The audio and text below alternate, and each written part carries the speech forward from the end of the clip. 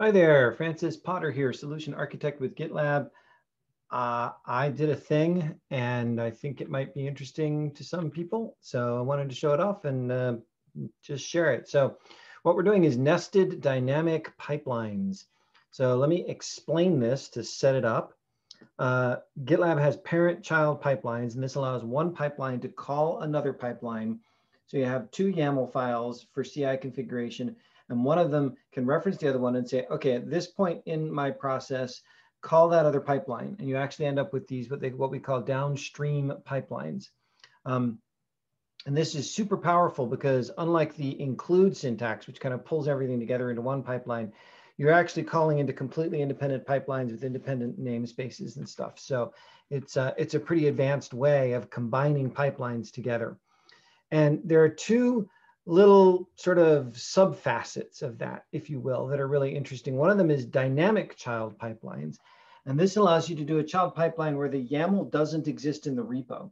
So you can have a job in your parent pipeline that generates YAML and then you actually put that YAML in an artifact and you reference that artifact in your trigger block so that you can call a child pipeline. The other that's really interesting is nested child pipelines, which allows you to uh, have a child pipeline call another child pipeline. Now, the question that I was trying to address was, is it possible to have a parent that calls a child and a child to call a grandchild where the child and the grandchild are both dynamic and where both of them are defined in the parent job. Now, in order to do that, not only do we have to call child dynamic pipelines, we also have to pass the, um, the grandchild's YAML configuration to the child uh, as an artifact so that it has access to it. So it turns out there actually is a way to do that.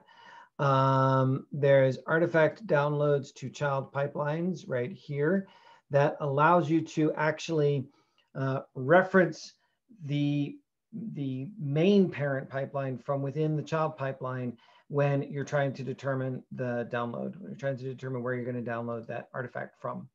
And so there's instructions how to do that here.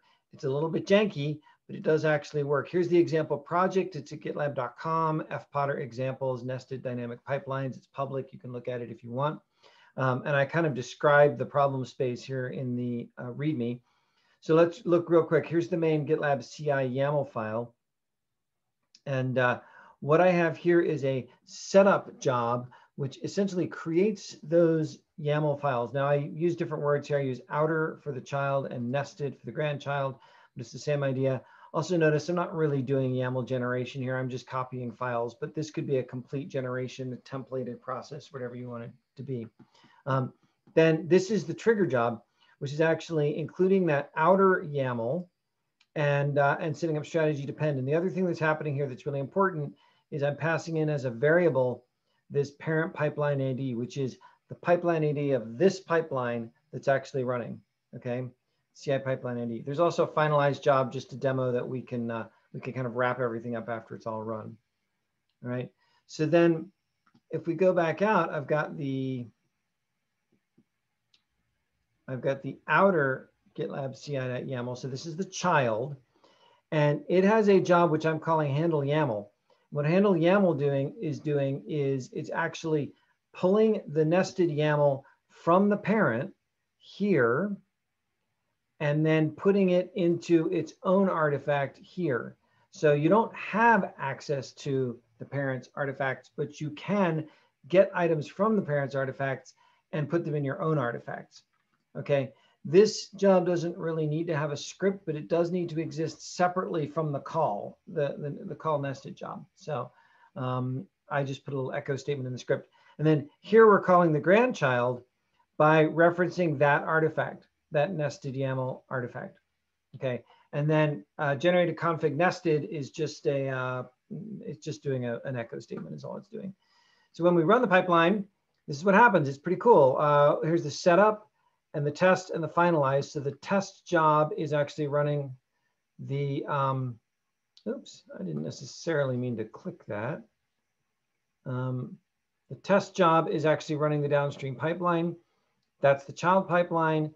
It's doing the YAML handling and then calling the nested pipeline. And the nested pipeline is down here, which is actually uh, in this status job, actually dumping some output. So I have a dynamic pipeline for the child, a dynamic pipeline for the grandchild, all being generated and called from within the parent. Now, why would you want to do this, you might ask?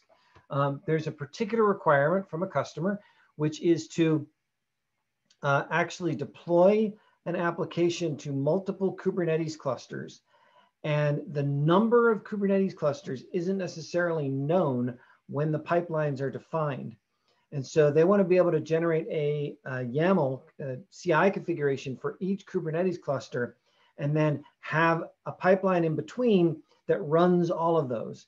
And so this, your pipeline in between would be this child, which would then essentially loop through and run all of the uh, grandchildren, and you'd have a whole bunch of grandchildren pipelines here. So anyway, I hope this is interesting. And um, yeah, I don't know whether it's useful to anyone other than the customer who asked for it, but just in case it is, there you have it. And it seems to work.